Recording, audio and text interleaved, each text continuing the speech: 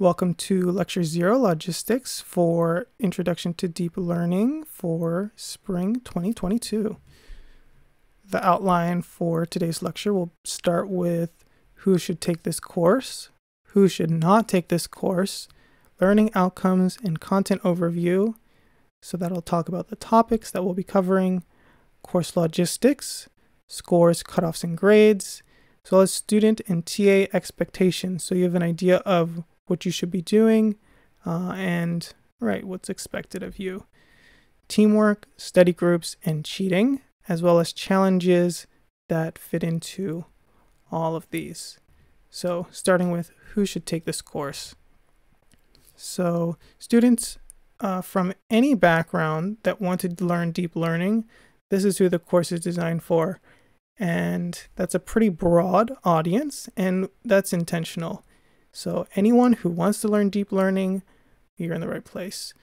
Uh, students who are willing to put in 20 hours a week on this course, this course is a lot of work. And if I were to put a number on it, I'd say um, you'd want to budget for at least 20 hours a week to put into this course. Uh, it's also for students who give continuous feedback and engage on Piazza. We'll talk a bit more about that uh, later and students who are mature and want to be challenged, uh, students who want to be ready for AI research and engineering roles. So these are the core types of students that the course is designed for. And to give some examples of successful people, we have architects. So, uh, no, not the computer architects, although we do have many of people who are computer architects, but the we've had architects who you know, the people who build buildings, right? Uh, we've also had musicians. So we've had a Grammy Award winner, social scientist. I myself come from an economics background, and we have people from psychology, as well as hostage negotiators. So, um, yeah, and uh, these are just some examples of very diverse backgrounds who come to learn deep learning and they make it through. And a lot of them end up being TAs. So uh, there's also the more normative examples of successful people who take this course, right? The software engineers, computer scientists, data scientists, quantitative analysts, anyone who, when applying to a job that says you should know machine learning, or wants to say they know machine learning just to put on their resume, usually the employers will assume when you say machine learning, you mean deep learning, and they'll ask you questions about deep learning. And of the machine learning experience you have, the deep learning experience will stand out the most, at least in the current meta. So there's also, of course, computer vision researchers, natural language researchers, and speech and audio researchers. So uh, people who want to specialize in these, we teach a lot of the prerequisite knowledge specific to deep learning that you need to know to do deep learning research in these fields. So, yeah. And right, just to emphasize that a bit more, we have students from many departments, and this is not an exhaustive list. And if you see your name in here, great. That means there were many students before you who were successful in uh, with coming from a similar background. But if your name's not on this list, that's okay. We're um, yeah, we're here to help you from wherever you're from. And yeah, so to give some examples of neural networks, just so to motivate the subject a bit, you might have had uh, Siri if you used Apple.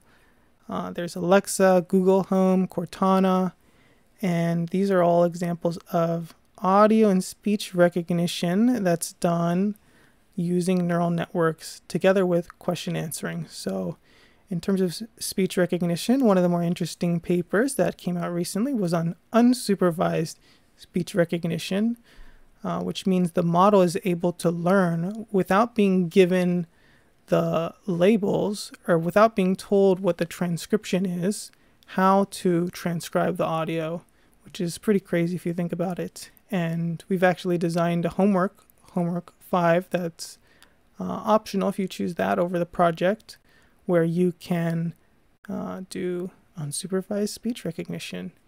And together with BERT, you're able to do question answering using transformer models that are learned on very large data sets. Um, and yeah, so that's a bit on the audio and speech recognition. There's also uh, NVIDIA DLSS or AMD FSR or FidelityFX Super Resolution. And uh, one of the interesting papers in that is the real ESRGAN. And we'll give some examples of that here. And you can see it's pretty impressive the results you can get with super resolution. And it basically allows people who have would otherwise see lower resolution uh, to apply neural networks to see higher resolution. So uh, there's also object detection. Detectron is comes to mind, and you can see it does some pretty cool segmentation, object detection, bounding boxes, and these are all done using neural networks. Other creative work includes you might have heard of deep fakes or face swapping, and there's also even more artistic like StyleGAN too, where you can see examples of the AI generating uh, art from its understanding of how to make art and the results are pretty impressive as a AI artist that um, creates images that are unique and not replicated from uh, individual people. It's its own art style. Okay, and then in terms of preparation for the course, there are required classes, so fundamentals of programming are equivalent. Uh, we will assume you have experience uh, coding, ideally with objects, and have an understanding of classes and what algorithms are. Uh, highly recommended classes are calculus and linear algebra, and nice to have our vector calculus in software engineering. Now, we will teach the math you need to know when it comes up, but math can take time to learn depending on the person, and so uh, you'll have to factor in to uh, the amount of work you'll need to put into the course, especially if uh, you haven't taken calculus for a while, or maybe your linear algebra course wasn't too intensive. We've had students who they took uh, calculus a while ago, and even some students who haven't taken linear algebra and they've made it through the course. And um, yeah, so that's a bit on the prep. So, who should not take this course? This course is not for students who want an easy A.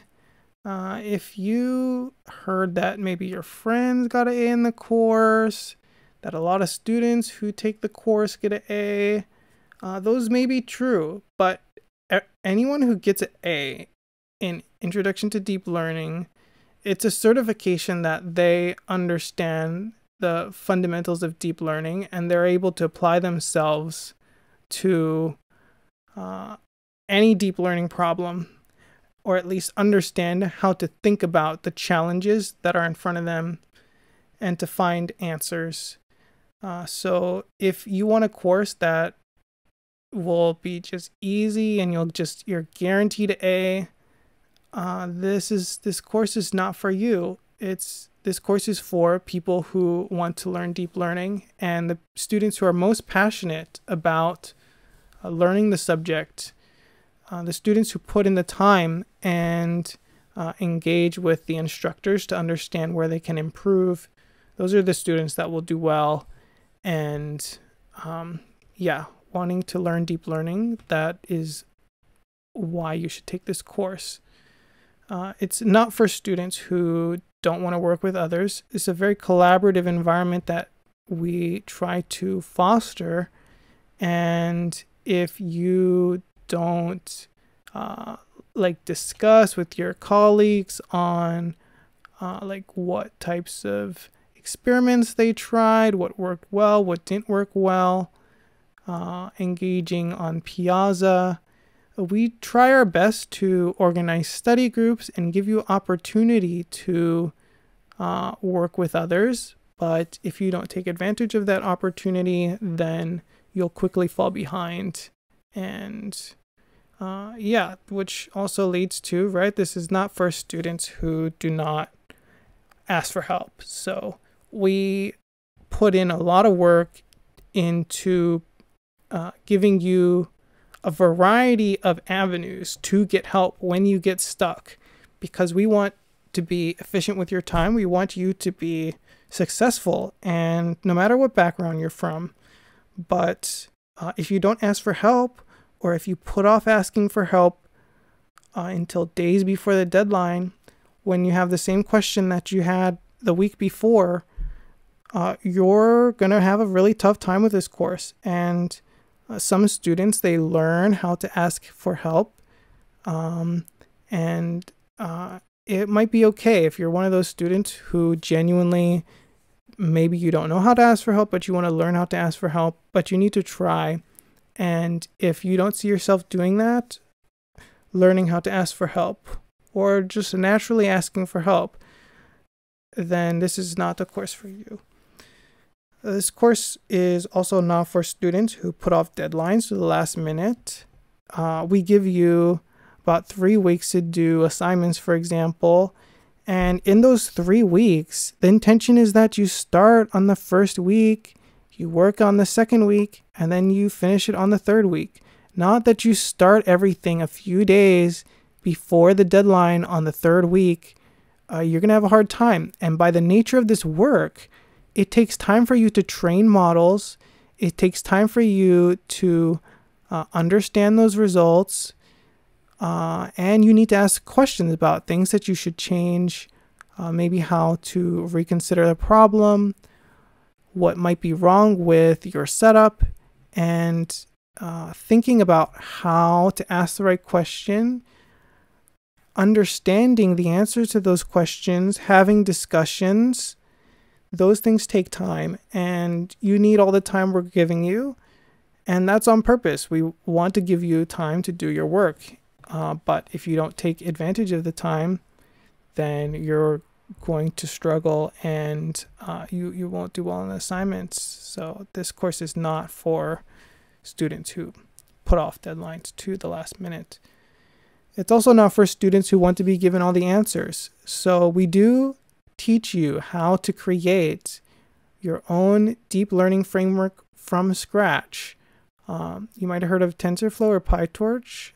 Uh, what you make will be very similar to PyTorch, and you'll have a very strong understanding of PyTorch uh, after you do the assignments. And for that, you are implementing equations that we give you, um, algorithms that we give you, because these are core building blocks that do not really change.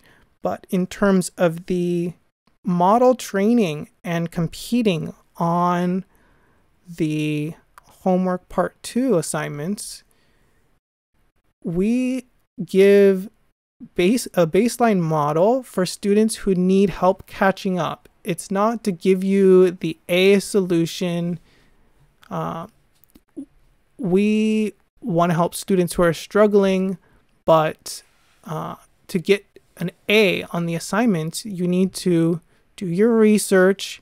You need to execute on the methods we teach you. So, hyperparameter searches, uh, understanding when there are problems with your model architecture that could be leading to poor training results.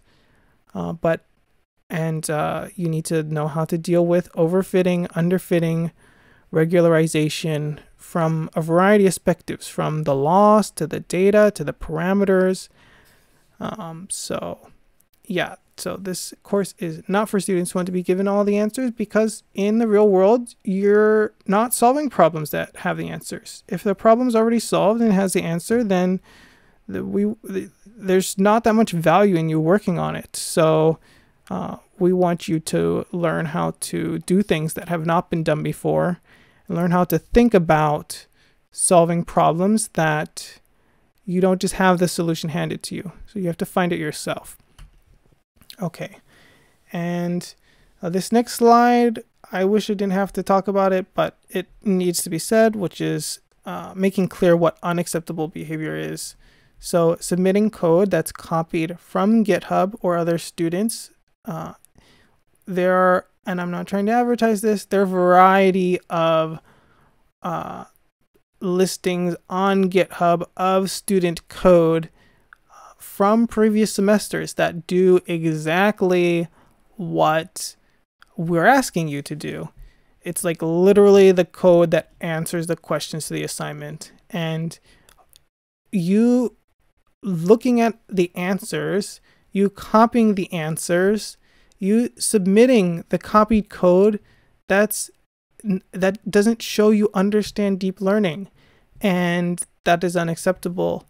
And if you see yourself as the behavior you're doing, you could not do what we're asking you to do with the resources we give you um, without copying, then you're leaning too much on work that's not yours, which is unacceptable.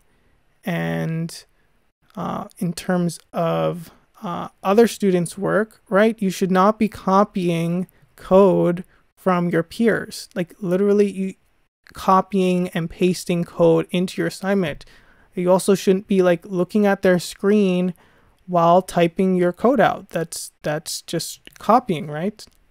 So what is okay is other students looking at your code to help you debug a problem or if uh, one of your peers is trying to show you how they solved a problem or algorithm but when you sit down to write the code, it's you writing the code not by copying, um, but by your understanding of deep learning and how to use the resources we give you. Okay, so next is right not engaging or contributing with project groups. This course has two offerings. There's the course with the project and the course without the project. Don't take this course without, uh, don't take this course with the project if you don't want to do the project. And if you want to put off doing the project until the end of the course, that's not how this is designed. It's similar to the homeworks, right? Where you need to start uh, when we start the projects. And uh, it sounds obvious, but uh, you need to use the entirety of the time we give you because uh, anytime you put off is time uh, wasted and you won't get back when you start training your model uh, and try to understand the problem. These things take time, and if you give yourself less time, uh, that's one thing. But hurting your teammates, that's another thing, and that is unacceptable. And so, at the end of the course, your teammates will submit an assessment of your uh, ethic. And if you did not contribute to the project consistently throughout the course, then we will deduct your grade. And we've had deductions of 10%, 20%, to as much as 50% and 100%, depending on the severity of your uh, lack of consistent contribution. And uh, right, grades are worth uh, projects are worth about 25% for students doing the project section. So you should take the project seriously. Otherwise, it's unacceptable. So, okay, there's also, right, disrespecting other students or TAs. We try to make an inclusive environment, and to us, what that means is being accessible to wherever you come from, whatever your background is, uh, we want to be as accessible as possible to students from different perspectives. And just because a student, maybe their strength is in engineering, but their strength is could be they're good at mathematics or they're very creative uh, and likewise the uh, students who do engineering might not have as strong uh, of a math background or uh, creative understanding about how to think about problems. And we want all these perspectives to be able to learn uh, deep learning and apply it because uh, we really believe in uh, reaching as many people as possible to teach this invaluable skill. And yeah, so it, if you uh, make fun of students for their background, how they ask questions, if they're in good faith, it you should not be disrespecting them. And the TAs, in addition, we work really hard to help you and we want you to be successful. And you you're not the only people who work uh, very long uh, hours to do well in this course. For us to do well as TAs, that also requires a lot of work, and uh, that's work we're happy to do and willing to do for you because we believe in you and uh, we think that uh, you should be able to learn deep learning. And it, for us, it has made our our lives significantly better and we we want to give back and help you all out too.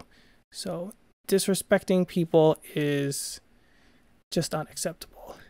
Um, also, and again, I hate to have to to say this. Uh, it should go without saying, but uh, if you're complaining or making fun of Professor Bhiksha's disability, then uh, you should not take this class. Um, and uh, he Right, and he's had this from birth. He literally cannot lift his hands above a certain height. So, uh, you know, it's cool. He teaches lecture with a sword, um, but that's uh, uh, that's because he literally cannot reach high enough to point at what he wants to talk about, and uh, it takes time for him to uh, move around certain places and uh, so your patience and understanding regarding these things is uh, really important because you know we're all just lucky he's still alive. So um, it's it's really amazing the um, the amount of work he puts into this course, and there's there's no reason to um, say hurtful things about him, uh, which students have done, and it, it it is hurtful.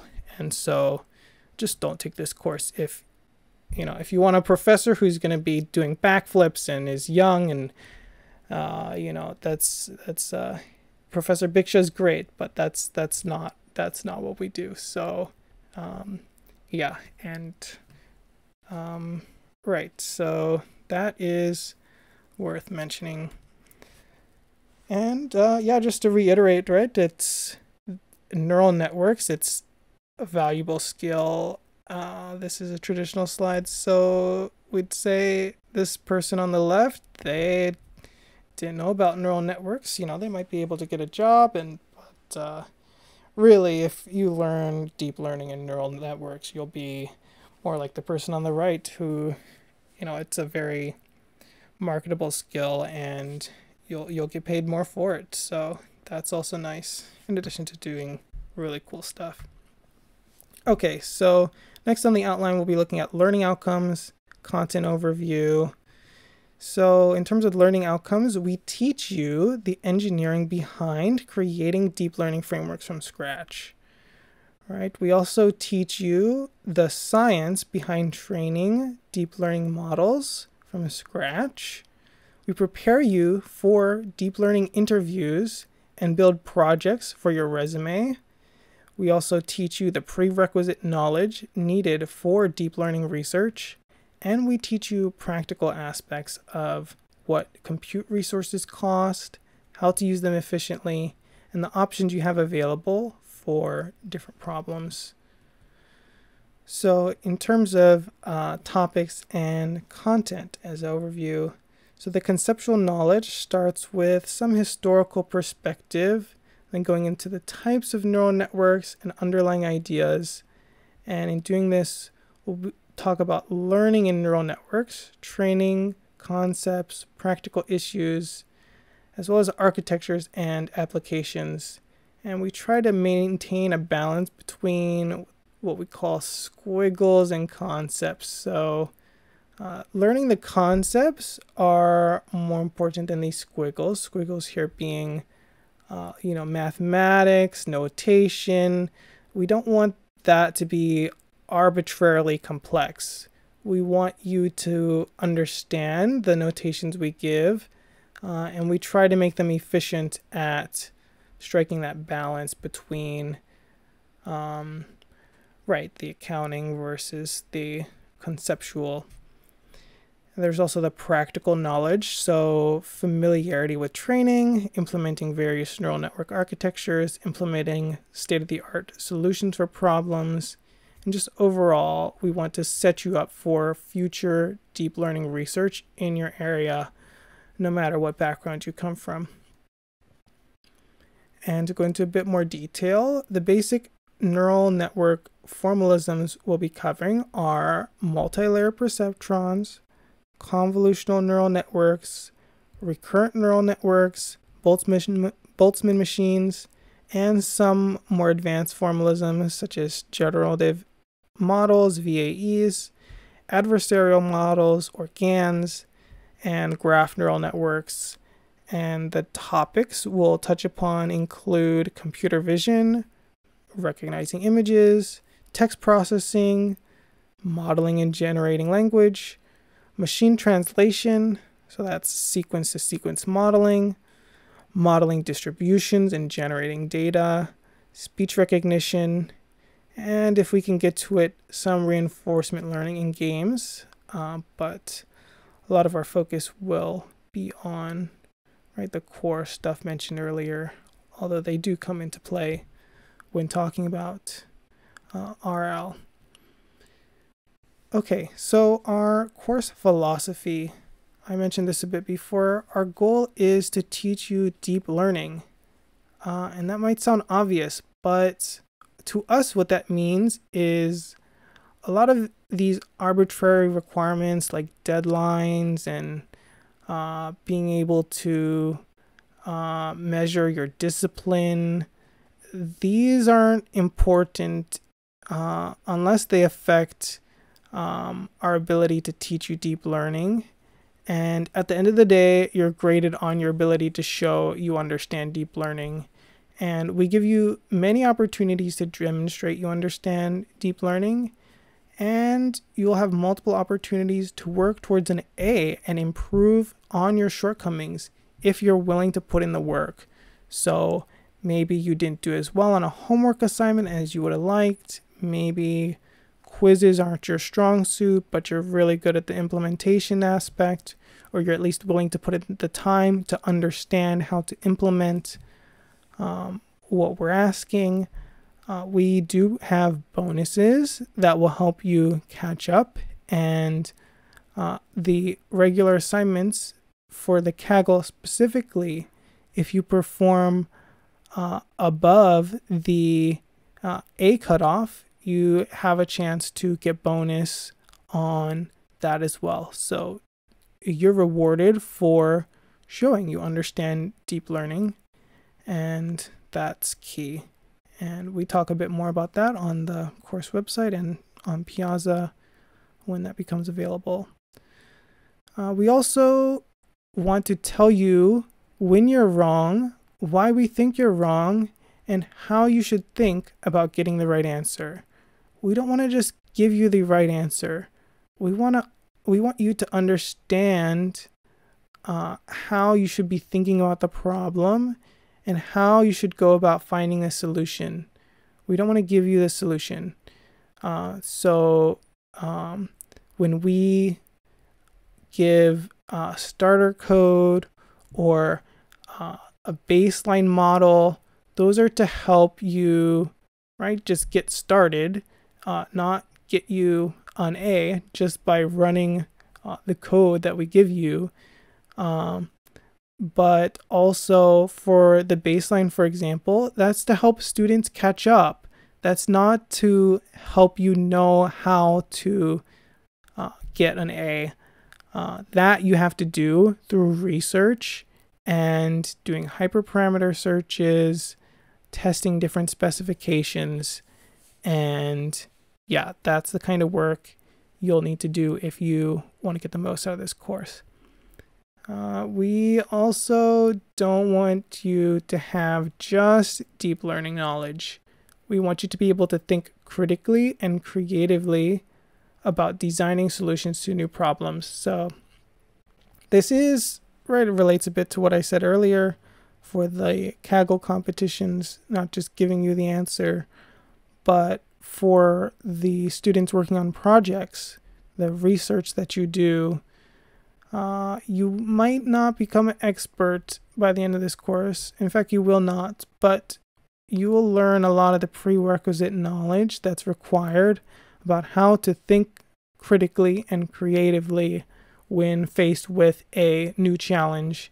And there's a lot of new challenges out there, and uh, learning how to approach problems is much more helpful than being given the solution to a problem that likely won't be the exact problem you work on when you're in industry or doing research or trying to apply yourself to whatever domain you're from. So keep that in mind.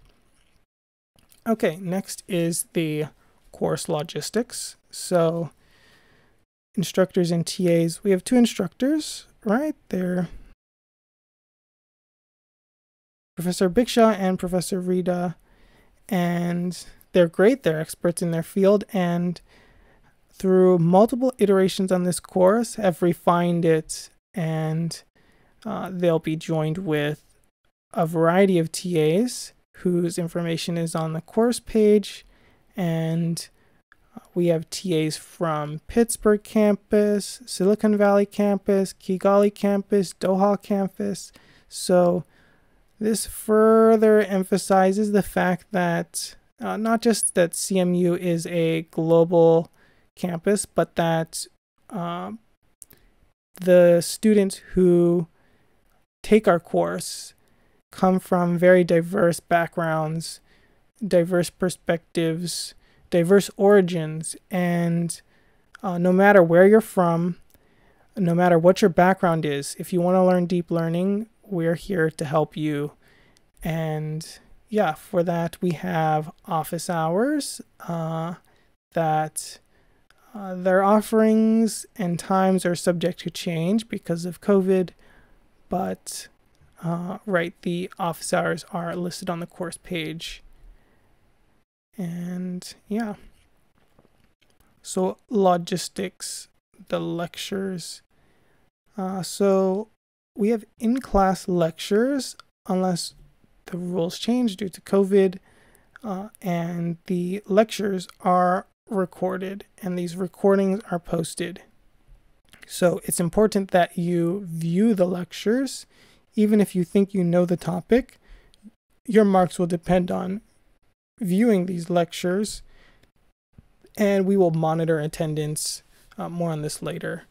But the basic motivation is that from empirical analysis of the data, we find that students who watch the lecture uh, during the week perform the best, followed by students who watch the lecture during when the quiz is given, uh, and the students who perform the worst are the students who they don't watch the lecture and maybe they just look at the slides to answer questions and uh, it, it's okay to watch lecture and look at the slides when answering questions because the quiz is, is open book. But uh, if uh, the gap between the students who watched lecture during the week and the students who did not watch lecture is as much as 10%. And that 10% is a pretty significant gap. So that gap in understanding will spill into your assignments and uh, it will be harder to convey to you why you're wrong and uh, what you need to improve, uh, as well as just even before you run into an issue, thinking about the problems you're working on. Uh, so that is the reason that constraint is there. So, given the data, and uh, yeah, so we'll talk about more about that later. Additional logistics. So, reading and engaging on Piazza is mandatory. So, if you do not do this, you will fail the class because you won't know uh, the suggestions we give to you on how to think about problems. You won't get the feedback you need when you need help. Uh, and that we put in a lot of effort to give you responses in a timely manner. And um, that takes a lot of work, but we're we're willing to put in that work for you. And for that reason, uh, if you don't engage on Piazza, basically you're gonna fail the class because I mean, how are you going to know uh, what you need to do or how you need to think about the problem if you don't read the what we write about those things? So, uh, yeah.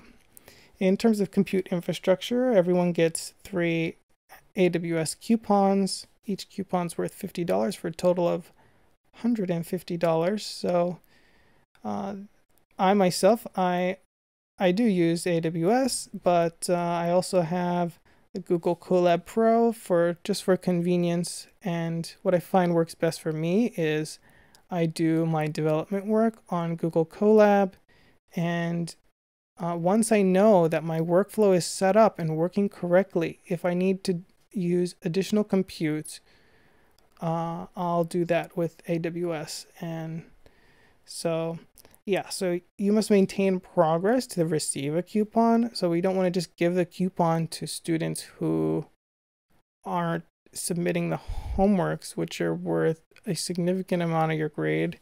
Uh, you don't just sign up for this course to get free coupons. That's not how this works. And uh, so we distribute the coupons after we receive them. So um, yeah, they're not just all given to you at once in one lump sum. They're distributed uh, when we receive the coupons. So, yeah, keep an eye out for that on Piazza because that's where we'll tell you. Okay, lecture attendance. So, um, for this, you'll get marks for attendance. Our performance metrics over the semester show a distinct correlation between attendance and course score. So, uh, definitely you need to attend uh, the lecture. And like I said before, if you watch the lecture versus not watch the lecture, the gap can be as much as 10% of a difference in the score you'd otherwise get. And because this discrepancy is amplified uh, in your assignments, meaning you'll have to do extra work because you're making mistakes that you otherwise would not make if you understood the concept better. And so, uh, really, the net time you're saving is um, we we need to be efficient as TAs, helping as many students as we have, and so that is why we have this constraint, uh, because we want to be able to help the students who are putting in the work, because it is a lot of work, and uh, yeah, we want to answer your questions. So there's also an inverse correlation between attendance and the amount of help you require on Piazza and during office hours. So that just further reiterates what I just said. And uh, to encourage attendance, we assign one mark for attendance, and that's 1% of your total grade for the course.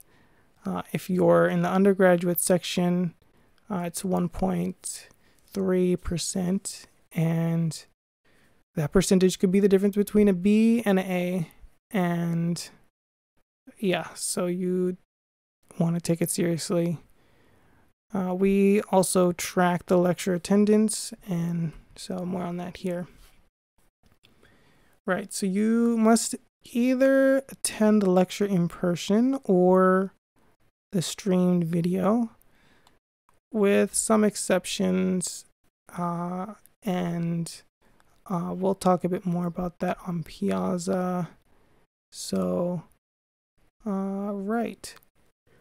Keep an eye out for that. In terms of the lecture schedule, that is on the course website. And the schedule for the latter half of the semester is a bit fuzzy for things like guest lecturers, because you need to schedule them. Um, but some uh, examples of lecturers that might be speaking could be Scott, Shinji, Gerald, Graham. Um, very great people. And yeah, keep an eye out for that on Piazza.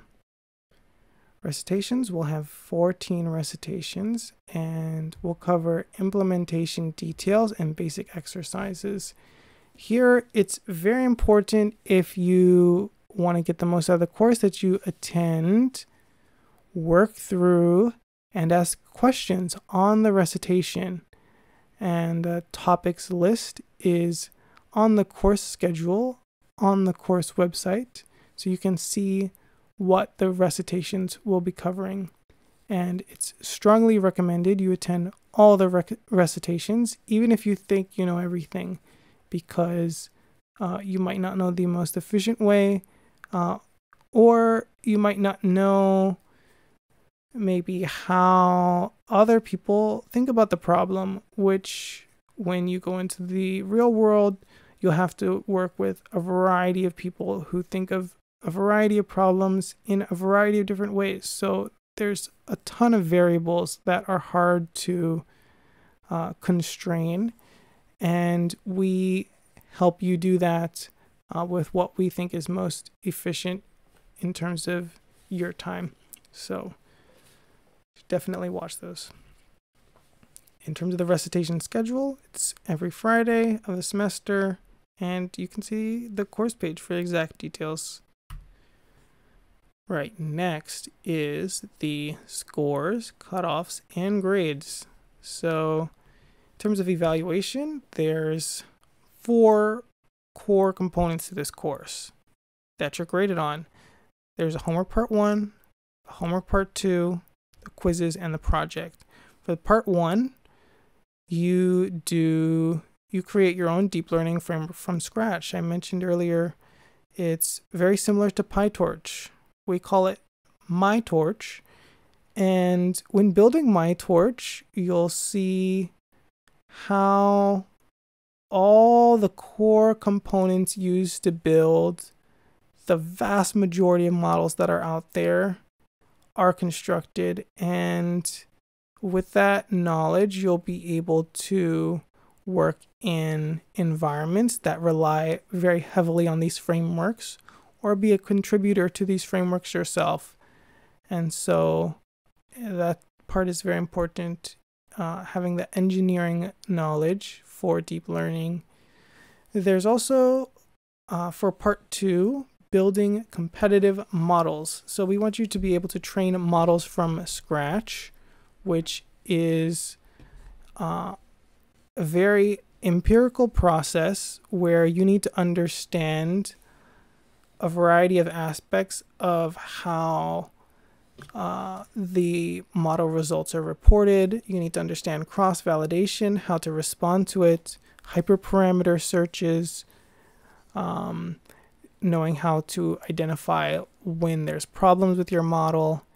And uh, again, we don't, our goal is not to give you the answer to uh, to give you the competitive model because in the real world, you don't just have the answer. You need to find the answer, and in finding the answer, uh, when others don't know the answer, that is what makes you the most valuable in your uh, application of deep learning and your deep learning research. So, uh, yeah, that's part two. For the quizzes, that tests your deep learning understanding, uh, and that focuses uh, a bit on the literature if we cite papers for you to review, but it's mostly from lecture. And uh, so, you watching lecture, taking the time to ask questions on lecture when you don't understand things, uh, ideally the day the lecture is released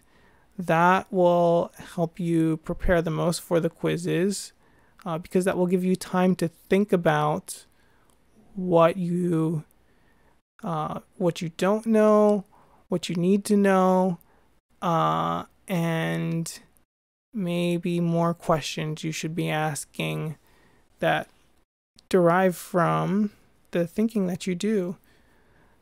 Uh, so that's the quizzes. For the projects, we want you to demonstrate your deep learning research ability.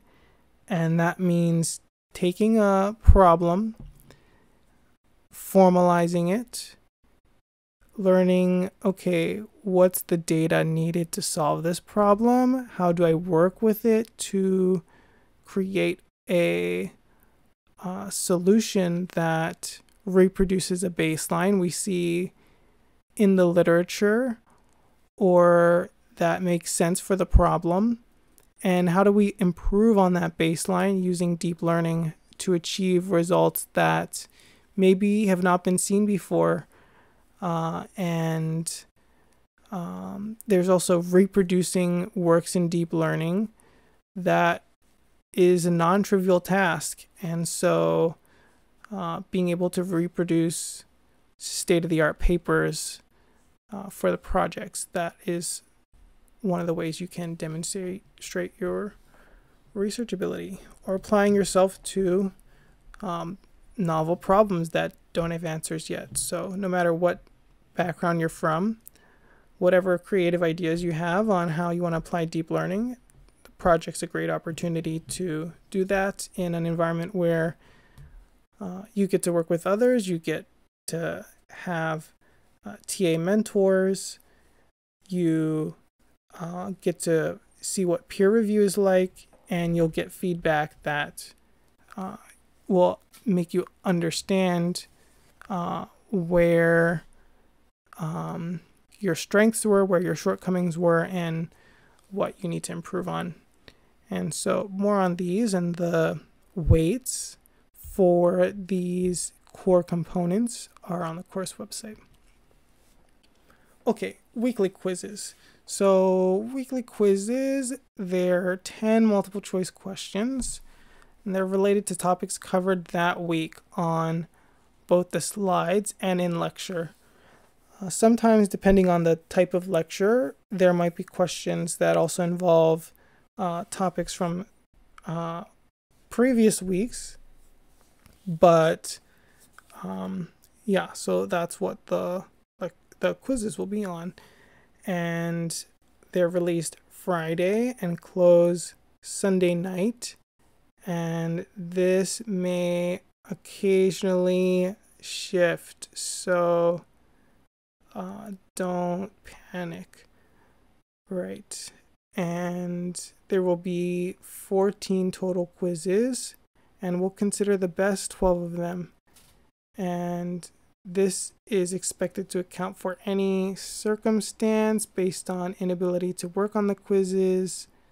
Uh, so, put differently, you could skip up to two quizzes uh, if you have challenges that make it so you're not able to perform as you'd like on them. Right, in terms of the lectures and quizzes, the slides often contain a lot more information than is presented in class. Um, although there is a lot of content covered in class. And so both going through the lecture, recording, and going through the slides, these are two things that should be done together. Uh, and you should ask questions on either of these things when you get stuck uh, or have trouble understanding something. And right? The quizzes will contain questions from topics that are in the slides, um, but not presented in class. So, uh, Of course, there will be questions on the topics covered uh, in class, but uh, that just further emphasizes that you need to be familiar with both the lecture materials and the um, from the recordings and the slides. So there's also topics covered in the recordings that aren't in the slides. So that's just to further emphasize again that you got to be familiar with both. So there will be questions based on uh, latest research papers in the quiz where the links will be provided and that is what it is. Okay, next we'll be looking at the homeworks. So there will be one early homework released before the start of the semester. That's homework zero. And there's four interim homeworks. That's homeworks one through four. So homework zero, it it it is a homework, but it's more preparatory material for the course. So uh, it's there to help students who need to catch up, and that's one of the resources we provide. And uh, in addition to the recitation zero parts, homework zero, um, it's a good gauge to see like if you're uh, if a lot of that is new, then you kind of get an idea of some of the extra work you have to put into understanding the um, the assignments. While uh, if a lot of it's familiar to you, then you might do uh, you might complete some of the work faster than average. But yeah, so that that work that's there is there to help you during the semester uh, be uh, closer to the completion time of your peers, given that starting basis. So that's homework zero. So homework one through four, that's when we start getting into the actual neural network uh, exercises. Uh, each of the homeworks has two parts. The first part is auto graded problems with deterministic solutions. So you must upload your implementation of uh, a variety of classes and functions and objects for the uh, your deep learning framework and we give the test to tell you if you've implemented those parts correctly in the write-ups we'll give you the mathematics that you need to implement the um, functions the classes and in the part ones, you'll make, for example, uh, linear layers, convolutional layers, uh, recurrent neural network layers, uh, gated recurrent units. We show you how to do long short term memory. Um, and yeah, so these and a variety of other problems, beam search, those are included in the part ones. In the part twos, those are open problems posted on Kaggle. So um, for homework one, part two, you'll be doing fame, frame level phonetic transcript generation. For homework two, part two, you'll be doing face recognition and face verification homework three, part two, you'll be doing um, speech recognition uh, to create sequential phonetic transcripts. You'll understand a bit more of the difference between uh, decoded sequences versus frame level sequences later in the course. Uh, and the final uh, homework for part two, is what you would traditionally think of as uh, speech recognition transcript generation. So you'll be given the audio and you have to create the human readable transcript uh, needed to see what the audio says in text. And yeah, so that's the homework one through four, part one, and part two. There are bonus homeworks. A lot of them are AutoGrad uh, for the part ones.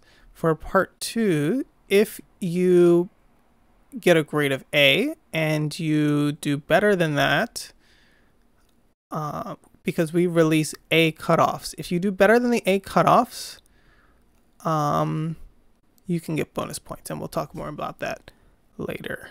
And uh, these marks will not count towards the uh, final grade, uh, but they make it so uh, you're able to catch up on points if you need them in other areas.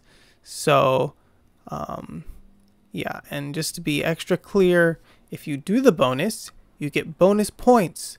So if you want a better grade, uh, you to like if you didn't do as well on the quiz or if you didn't do as well on the homework uh, as you would have liked, then you should be doing the bonus.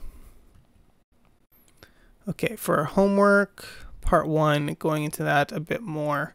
So, right, the part one evaluates your ability to code neural networks on your own from scratch. And right, if you implement all the mandatory bonus questions of part one of all the homeworks, then um, you'll have a toolkit very similar to the auto differentiation library of PyTorch. Um, even without the AutoGrad, you'll still have your own deep learning framework uh, for all the layers you create together with forward and backward, uh, the optimization, the loss, the activations. You'll have all of those components. So you'll learn a bit more about what those mean. Uh, and it's pretty unique, uh, our course, how you're able to create your own deep learning framework from scratch. And uh, yeah, you learn a lot by doing that. So the homeworks are auto graded again, and you want to follow the instructions carefully and start the assignment when it's released, and then continually work on it uh, through when the assignment's due. And so uh, this is one of those things where, uh, because part one and part two are released at uh, roughly the same time, you want to get the part one out of the way um, or the part two out of the way uh, so you don't have both of them incomplete by the deadline and do at the same time. Uh, that flexibility we give you is so you can be smart about doing the assignments regardless of what your schedule is. Uh, but if you put off the deadlines, then uh, you will have trouble finishing the assignments. So, uh, yeah, if you fail a test, you get zero marks for that test. Uh, and if the tests are meant to be run sequentially, then uh, you should right finish the test that comes before the other in the sequence. Uh, otherwise, even if you pass the later test, uh, it doesn't, it might use something from the previous test. So, uh, so you wanted, ideally, you should do the assignment in order. Uh, slack days, which we'll talk a bit more about later, do not apply to part one. So you have to finish part one by the deadline uh, and let us know if you have any challenges with that. Part two of every homework tests your ability to solve complex problems on real world data sets. So the early submission deadline is required and worth 10 out of the 100 points possible for the homework. The remaining 90 out of 100 points are determined by your final score relative to the cutoff, and the cutoffs are determined after the early submission deadline where your score is linearly interpolated between the cutoffs. So, um, yeah, a bit more about that in the last point. So, there are four standard cutoffs, uh, and they'll give you 90 points, 70 points, 50 points, and 30 points, um, respectively. Uh, and you could get zero points if you do worse than the fourth cutoff. The fifth cutoff is uh, so at the upper end, if you do better than the cutoff for 90 points, there's a fifth cutoff that's determined at the end of the assignment. Whoever scores the highest on the assignment, they are the marker for the fifth bonus cutoff. Uh, and right, so grades are linearly interpolated between that bonus cutoff and the A cutoff to determine how bonus points are assigned to the students. So, yeah, and uh, it's not possible to get bonus if you're submitting the assignment late. So, bonus is only available if you submit on time. So, uh, and that's right because it wouldn't be fair to other students if you submitted late and got a better score, and then that would change their bonus score. So, yeah, that's how it's set up.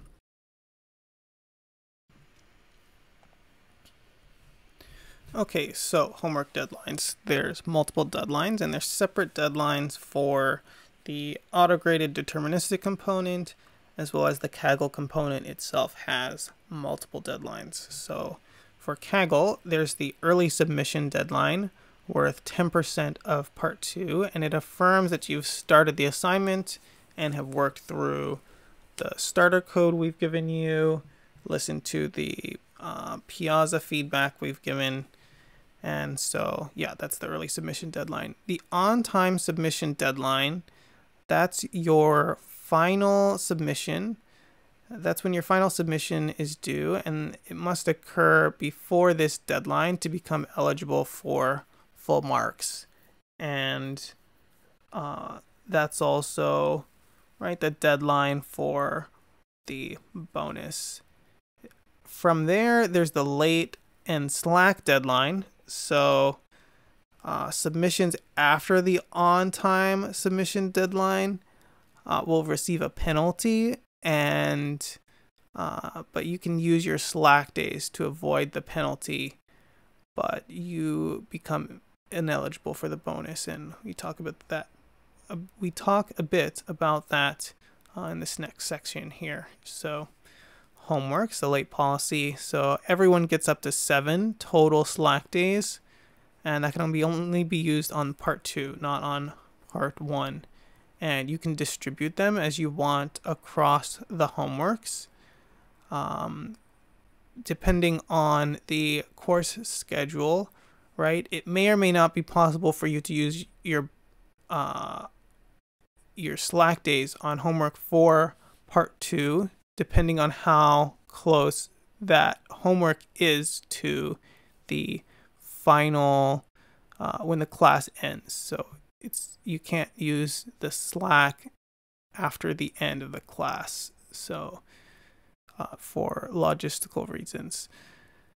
Okay uh, right. There will be no more submissions after the um, drop dead deadline or the late slack deadline um, but uh, right we're in a time of covid and um, if for any reason you think that there was something that you should have done differently or that you uh, was outside of your control that uh, you think we should consider uh, then you should reach out and let us know because right we try to be as accommodating as possible uh, but that only can happen through communication. So please communicate uh, if you have challenges that you would want us to factor into right your deadlines.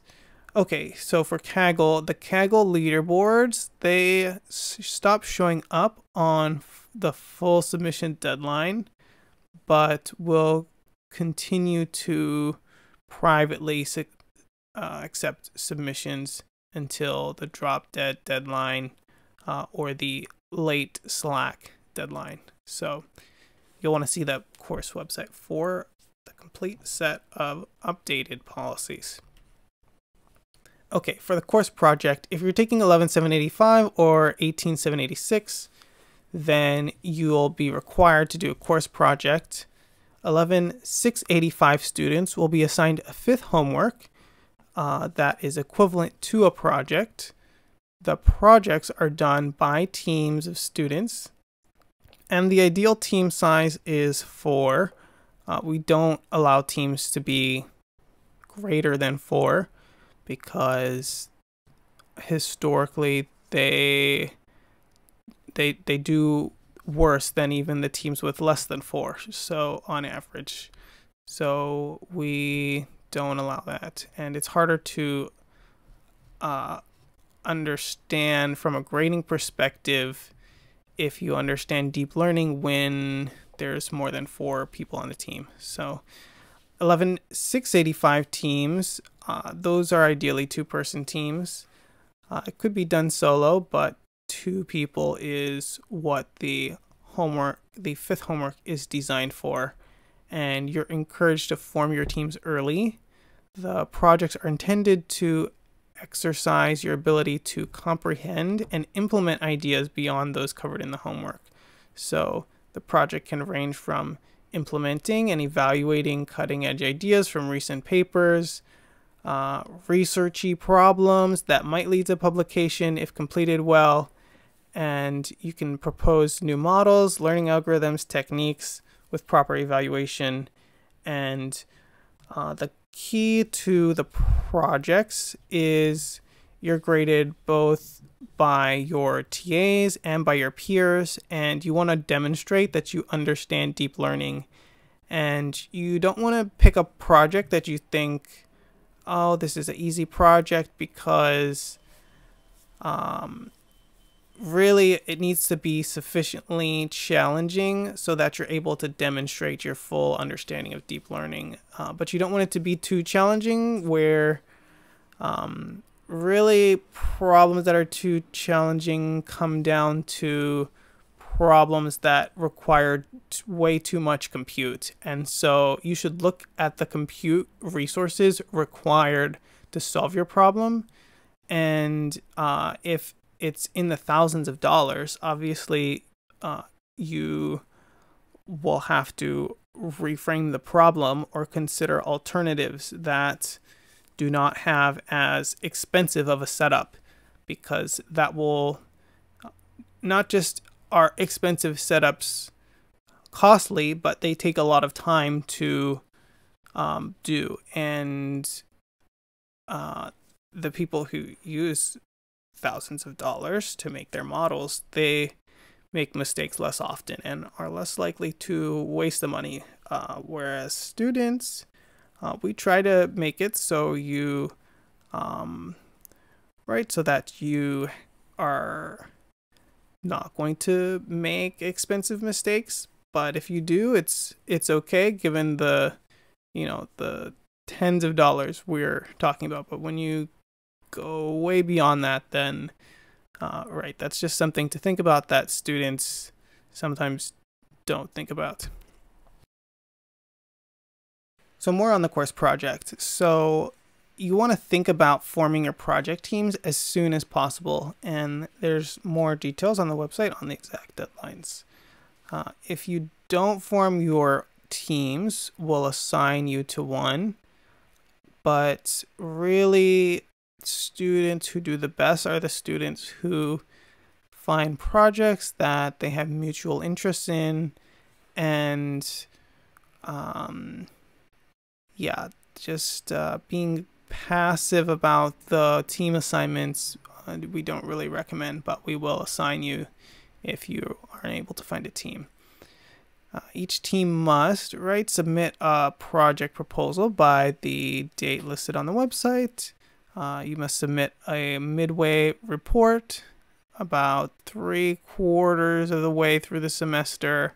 You'll submit a preliminary report three days before the presentation due date, and you'll make a five minute video presentation of the project at the end of the semester. And this can be presented by one, some, or all the team members, but uh, it will be evaluated by the instructor, the TAs, uh, your classmates, and uh, it's to ensure you explain the problem, right? That you've proposed a solution and you evaluate it clearly and you want to allocate enough time to make the presentation because uh, it is worth quite a bit of points and you want that to be uh, in my experience i've seen students who have great results but very poor presentation.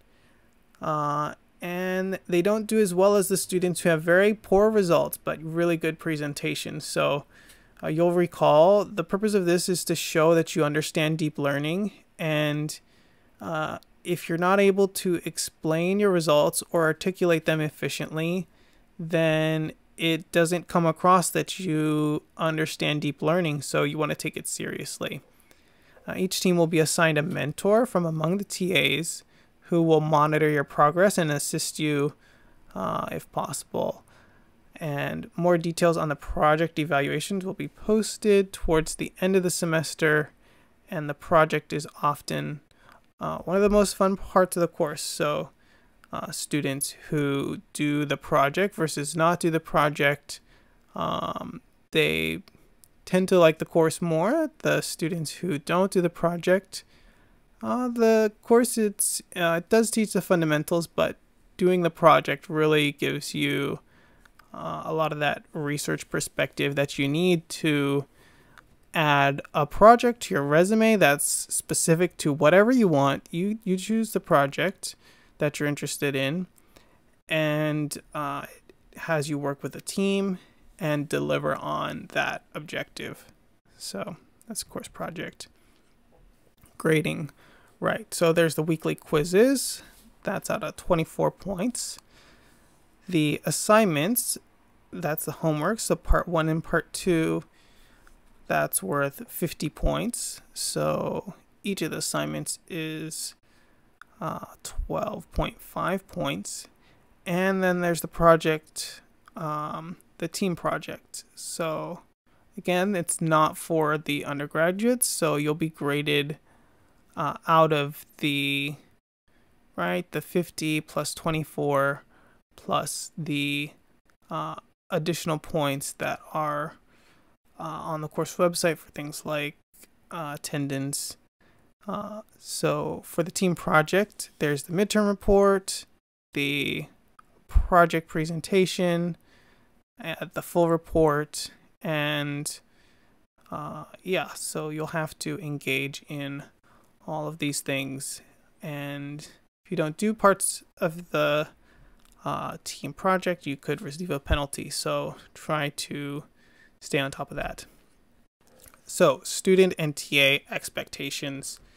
Okay, so understanding the roles of the TAs versus the students gives you a perspective on kind of what's involved in this course. And uh, so we don't just give office hours and answer questions on Piazza there's a lot of additional work that we have to do to um, right make the course possible and so we like you as students working really hard we ourselves work really hard to uh, be as accessible as possible to as many uh, students as we can reach from whatever background you come from. So uh, for the TAs, our roles for homework part one uh, involve things like creating architecture diagrams with examples, uh, solutions created and verified against PyTorch uh, that are used to create the tests you see on Autolab.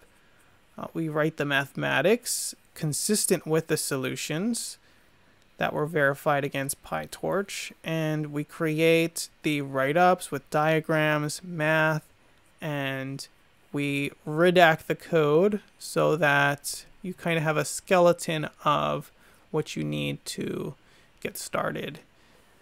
Uh, and we right we verify that all the TAs are able to reproduce the solution and we create the Autolab with the different tests and then we finalize the assignment and answer your questions.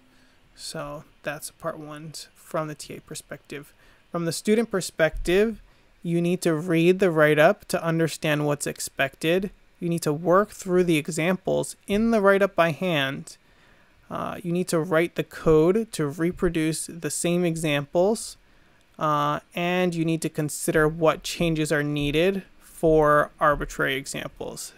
And uh, you should meet regularly with your study groups to discuss challenges and ask questions on Piazza if you get stuck at any of the stages.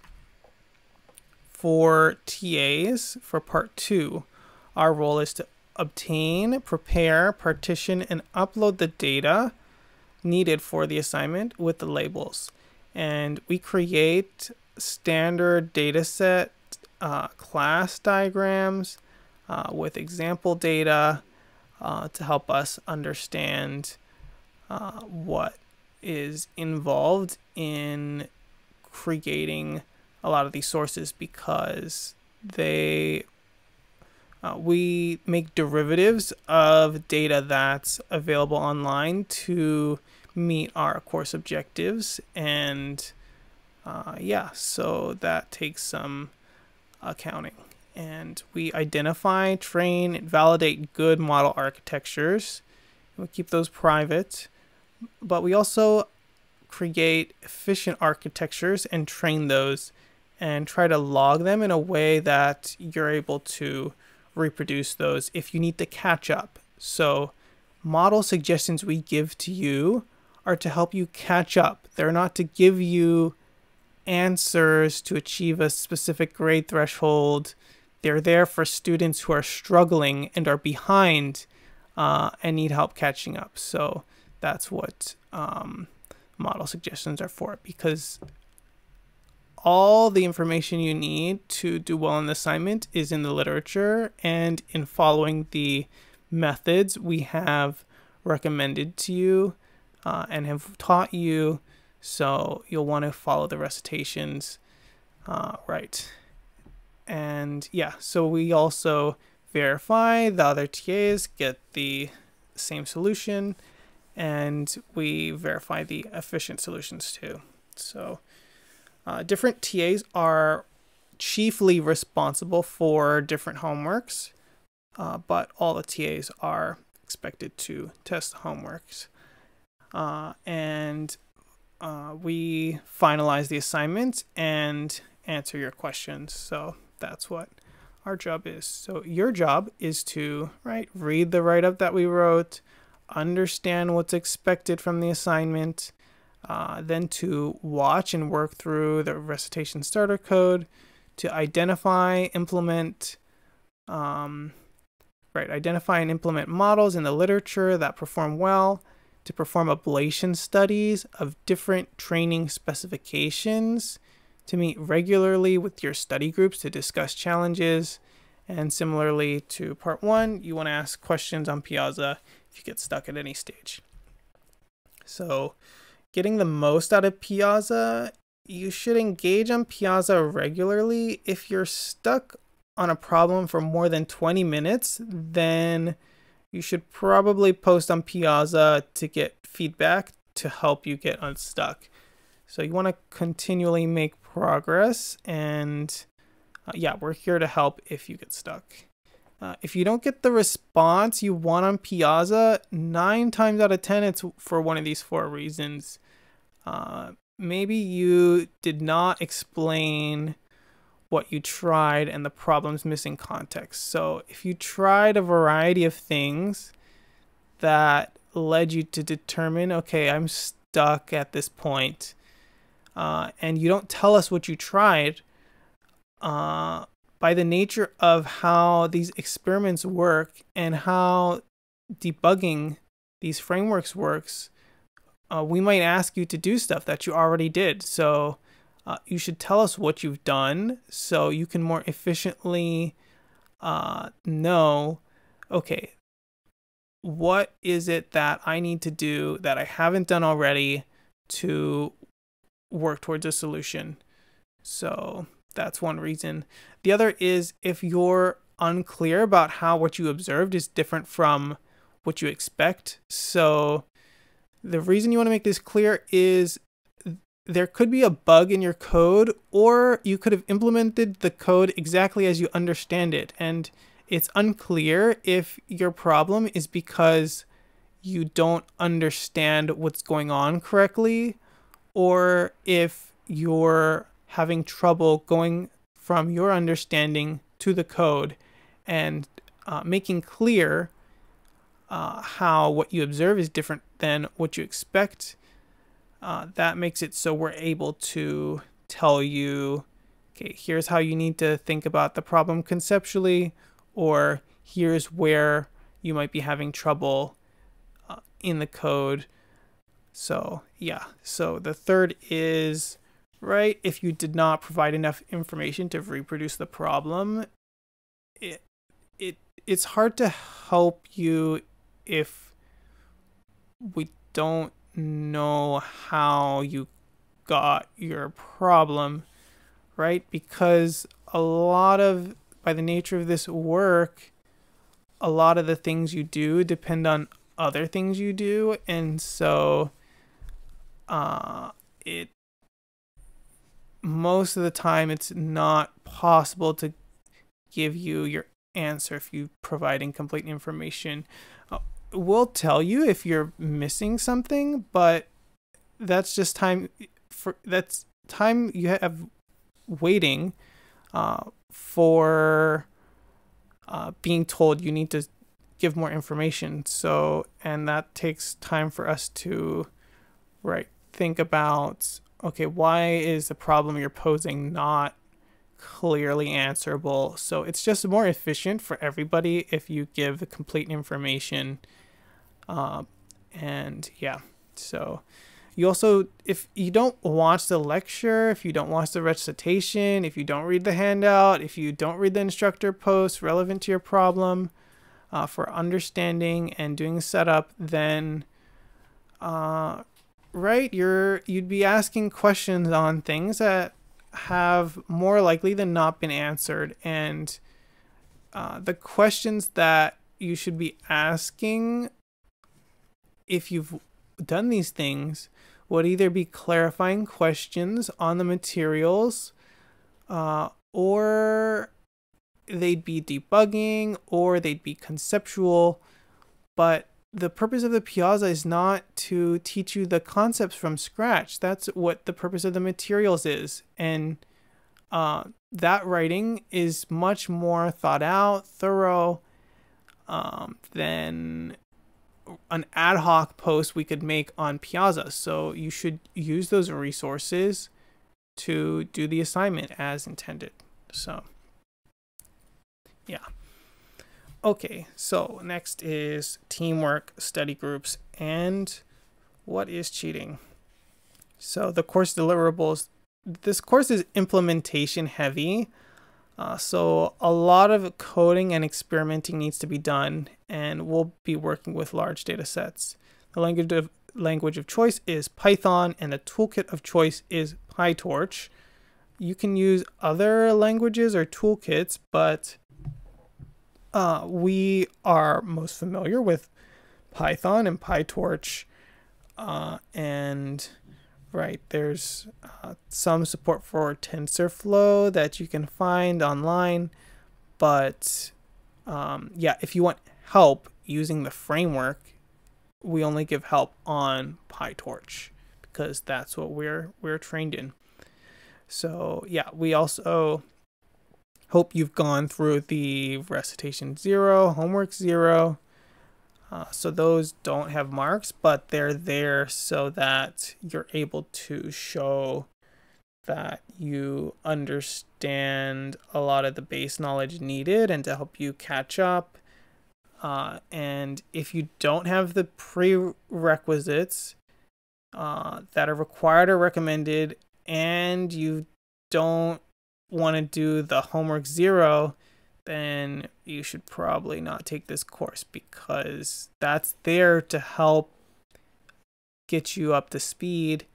Uh, and it doesn't do that 100%, but it's it's a concerted effort to help you out. And right, if you're not willing to put in the work to get caught up, then you're gonna struggle and not do well on the uh, the assignments, which leads to teamwork, right? So learning happens best together, and you'll learn more from each other than you'll learn for us from us, and we we do do our best to uh, teach you and be there to support you, um, but we're not a substitute for collaborating and doing um, like hackathons to understand assignments to be working right next to someone and getting feedback on oh i just faced this bug. Did you face this challenge? Oh if you think about it this way let's go through the problem on the whiteboard. Okay going through the variables this is what each of the variables means. These are what the shapes are. Okay going through the um, the example problems? Are we able to go through the math by hand? Uh, teams going through that in the study group is a very rewarding experience, and uh, I could say I would not have done as well in this course if I did not have a, um, a study group when I started. Uh, and for me, my study group, we met four times a week for three to four hours each meeting. And uh, we had things we expected of each other to do in between, like going through the lecture recordings. And yeah, so things like that are really helpful. And whenever we face a barrier, asking the question on uh, Piazza, it's nice to have, you know, the feedback and advice of someone who's really thought about it uh, or who's done the course before, but getting thinking about the problem from other students who are also learning it from scratch that gives you a more realistic experience to what you'll face in the real world which is where you'll be working with other people who are also working towards a solution that has not been created yet and those are the uh, experiences that you'll learn that will give you the most value. Study groups. So, um, right, please form study groups. Uh, if you do not have a study group of your own, uh, we'll help form one for you. Uh, but similarly to the project comment earlier, really you'll get the most out of the group if you identify people who share similar habits as you, who are on the same time zone, who are able to meet up at uh, however many times you think is needed given your background. And so everyone needs to be part of a study group. And if you do this course alone, you're not going to do well. So that's it's really important. Uh, what the study groups do uh, really that depends on your needs, but uh, it goes over all the assignment materials, which are the homework problems, homework solutions, discussing papers, classwork, quizzes. Um, yeah, you're you're not allowed to copy code, right? I talked a bit about this earlier. Um, but you're you can have students look at the code you did and comment on what needs improvement uh, or you could look at how other students did the code uh, but you can't look at their code while typing on your computer that's not how this works. So uh, if it looks and feels like you're literally copying their work uh, then you probably are. So uh, please don't do that.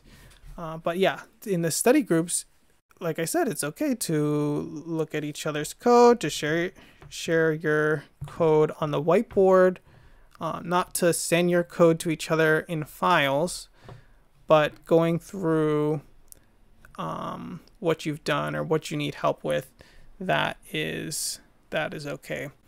And we encourage you to meet regularly to discuss uh, deep learning work. Like I said, the group I was in, we met four times a week, uh, three to four hours each session. And often we'd go over if we faced a particularly challenging concept, which was pretty often.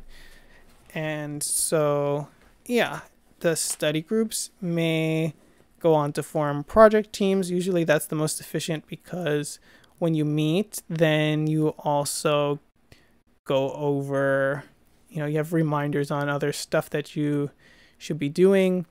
For me, what I found was nice was having specific days of the week dedicated to specific parts of the course. So uh, maybe uh, Friday was uh, lecture day where, or maybe Tuesday and Thursday were lecture day, uh, where we would meet to discuss lecture. Uh, whereas on Saturday, that might be homework day, and Sunday might be project day, uh, or going over from homework day to discuss what was worked on during the week and right? Just create a collaborative environment to work on challenging problems. So um, yeah so in terms of cheating what not to do i talked about this i talked a bit about this already um, but for the quizzes in particular uh, each student needs to solve the quizzes by themselves. So you can discuss the questions with your study groups uh, and friends, but uh, when you solve the quiz, you need to isolate yourself and do it alone.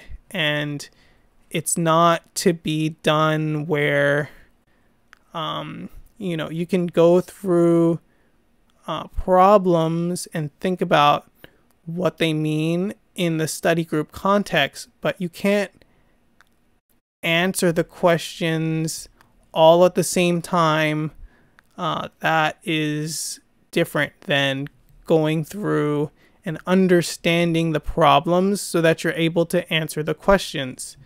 And right, we're able to track IPs and see when students are submitting, and we can use a variety of machine learning methods to tell right, who is working on the quiz at the same time.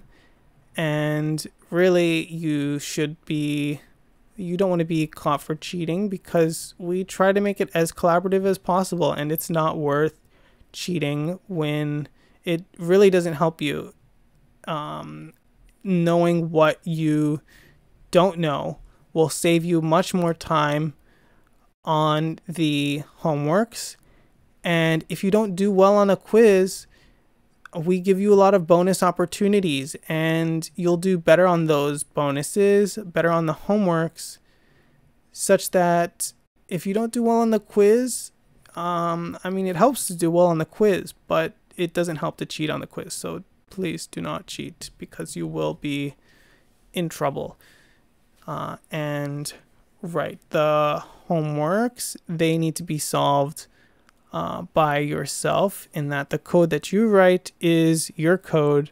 There's no copy and pasting. There's no looking at the solution while you're typing the it onto your computer. And yeah, plagiarizing from the internet, uh, like copying and pasting uh, work, that's just not okay. Uh, looking at if someone gives you an equation and you implement the equation, there there's no copying of equations from our perspective for the coding portions. Uh, if you're able to take an equation that's given to you or that you find on the internet and implement it in code and have that code pass the test. That is, it does what uh, you intended it to do and what we tell you you need to deliver on, then that's okay. Uh, implementing math or copying math equations um, that are not in code form and then converting it to code form because um, yeah that requires you to understand those equations and uh, yeah so that's okay but copying code is not okay right. And uh, we're here to teach you deep learning. And like i said uh, you shouldn't take this course if you're not here to learn deep learning. And uh, yeah, you're here to learn deep learning yourself, not to demonstrate how well your friend or the guy on the internet has learned deep learning. And you're at CMU, which means uh, we're currently ranked number one in the world um, for AI. And we, that's a pretty high bar. And so students who graduate from our class and get an A, uh, that's a certification that you understand deep learning, uh, its fundamentals. And if you want to do more work at CMU that is involved with AI and deep learning and research and engineering that involves deep learning, then uh, that's what we're here to help you do. And uh, just the spirit of doing work that does not demonstrate your understanding of deep learning, it will only hurt you in your assignments, uh, and you'll do very poorly on other aspects of the course. Uh, and so the net amount of time that you save from cheating is actually not as much as you would think. Uh, and students who cheat end up needing to cheat even more later in the course if they want to uh, make the facade that they're doing well. But uh, you'll eventually be caught because, right, that if you cheat and you keep cheating and if we don't catch you the first time, we will catch you the second time, and you don't want to be one of those students um, because we provide a ton of support mechanisms. We're very accommodating if you fall behind um, we, uh, yeah, so we're here to help you. So don't, um, yeah, don't squander um, what you've, you know, you've come really far to to make it here, and we want to help you get even further. And we can't do that if you want to be a cheater. Just don't do it. So, yeah, if you're unsure whether something you're doing constitutes cheating or not, you can ask us and um, yeah if if you um, yeah so you should let us know if you have any confusion uh, right so mentoring so each group will be assigned a ta mentor to uh, track your progress and uh, reach out to you if you appear to be in trouble. So um, there's a lot of students and so ideally you should make clear you should communicate your issues because it's hard for us to tell if you're stuck if you don't say you're stuck. But we're a resource for you uh, if you make clear that you're facing challenges uh, and even if you don't make it clear we do try to maybe identify challenging circumstances that you might uh, miss, like maybe you're um, not keeping up with the assignments at pace we'd recommend. Uh, so yeah, so that is for the TA mentoring. And if you're in trouble, right, you should reach out to your TA mentor and or the instructor. Yeah, so if you feel like you're falling behind, struggling, uh, if it just feels like too much pressure, we're we're really accommodating, and we know students come from a variety of backgrounds, variety of situations. Uh, COVID it affects students, it affects families, it can make for very hard situations, and uh, there are a lot of other things besides COVID that can cause challenges, and we're here to um, be as accommodating as possible as you face those challenges. So, um, yeah, we try our best to help you. And uh, if you're feeling overwhelmed, then you should watch the uh, recitation on uh, what you should do. Um, yeah, so that's on the course website. And yeah, so we aim to make this a successful course for all of you, no matter what your background is. Uh, we want you to do well. We want you to get an A. Uh, but we want that A to be reflective of an understanding of a standard that is a very high standard for deep learning knowledge and understanding. And if, uh, like I said before, if your goal is to take this class just because you want to get an A, that's not why you should be here. It's because you want to learn deep learning, and it's a lot of work to get an A and give you a lot of opportunities to get it. We're here to help you get it, but it is a lot of work. So, yeah. And everything about this course is geared towards uh, that objective to uh, let you put in the work and understand the concepts needed to uh, do deep learning and show you understand deep learning. Uh, and okay, so for the outline, next we'll talk about the challenges. So uh, yeah, so this course is not easy. It's a lot of work. And that leads us to the next point, which is that it's a lot of work. Uh, and in case it was not clear, it's a lot of work. And so if you want a class that is easy, like a free A, uh, then yeah, that leads to the next slide, which is this class is a lot of work. Uh, it's not for chickens. So um, this is uh, right. So we're here to teach you deep learning. We think it's a very valuable skill. We have hundreds of students who take this course from so many different departments because they want to learn AI from the number one university in AI on the face of the earth, and uh, and they want to get involved in research. They want to get jobs that are relevant to what they want to do, uh, and use AI. And if you want to do AI or understand AI or use it in your work, or publish in um, whatever field you're from using AI, then this course, I mean, it's not easy, but then, uh, yeah, you'll, you'll be a lot better off for it. And, uh, right, we have students from, we talked about the different types of students that were successful.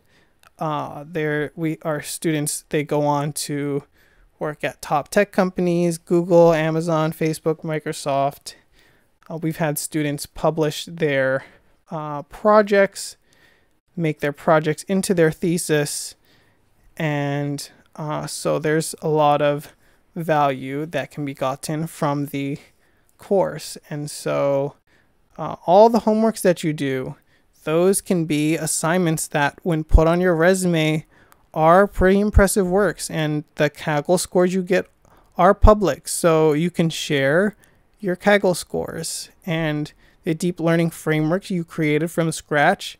Not many people can say they did that. And so um, going through all that to demonstrate your understanding and being able to answer questions on the quizzes that show, okay, if I'm in an interview, how am I able to answer a variety of questions that um, could have straightforward answers to, to less straightforward answers? And so, um, yeah, it's been refined over the years to meet the needs of a diverse body of students. And in that spirit, um, yeah, there's it, it's likely that you'll learn deep learning, uh, and we try to make that a certainty uh, if you put in the work and stick with it. So, yeah, so there's this idea of mastery based evaluation. And so uh, the quizzes, right? We said they talked about your understanding of topics covered in lecture. And there's a lot of content in lecture. So doing well in the quizzes is no easy feat. And uh, we do have the quizzes as open book, open note. And so yeah, you want to take the time to think through the questions, understand the lecture, and ask where you get stuck. And uh, the homeworks for the part ones, you're doing creating your auto differentiation library from scratch. If you're doing an auto grad, uh, or at the very least, creating a deep learning framework from scratch.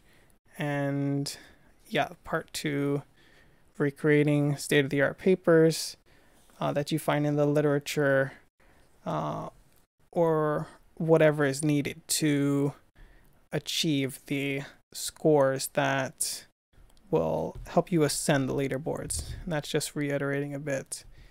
And yeah, so anyone who gets an A in this course is ready for a deep learning internship, ready to start a research assistantship in deep learning uh, that is the goal of these standards. And so, yeah, that's that's basically it. And so, for homework zero, recitation zero, please, please, please, please, please go through the videos for recitation and complete homework zero. Even if you think you understand these materials, it's good to go through them just to be like, you know, make sure, yeah, that you do in fact understand them. And it shouldn't be too hard to go through if you think you know everything already. Uh, but if you don't, then uh, it will help give you some perspective. And yeah, so homework one, part one also has many components intended to help you later in the course. So if it seems a bit dense, please bear with it because uh, it's definitely worth it in terms of understanding and being able to do um, well on other components. So homework one is the easiest homework. Uh, and I know from, at least from my perspective, uh, homework one was kind of a wake up call as to like, okay, this is the amount of work that's needed for uh, to do well in this course at a minimum, and it only gets harder from there. So, yeah, um, since I first took the course and it's uh, my sixth or seventh time TAing, uh, we've done a lot of work to the course started off very, had a lot of engineering complexity in it. And we've worked to make it so that the focus is more on understanding and being able to implement the math and concepts and demonstrate your understanding of deep learning concepts than arbitrary engineering um, complexities. So uh, with a lot of this work being implemented from scratch, understanding what good design looks like is important. Uh, and we've refined the uh, what we ask you to do semester after semester after semester to be more and more uh, clean of a design setup. And so, uh, in that sense, the course has become not easier, but more accessible to obtaining the deep learning knowledge that you came for came here for, uh, for to, came to our course for. Uh, if you want to learn software engineering, um, you can take a software engineering course, uh, and but for us, software engineering is a tool to understand deep learning and uh, the software that's out there, and so yeah, please do homework zero, recitation zero, and uh, know that the rest of the homeworks will be a lot of work. And if you have any questions, feel free to let us know on Piazza. Thanks.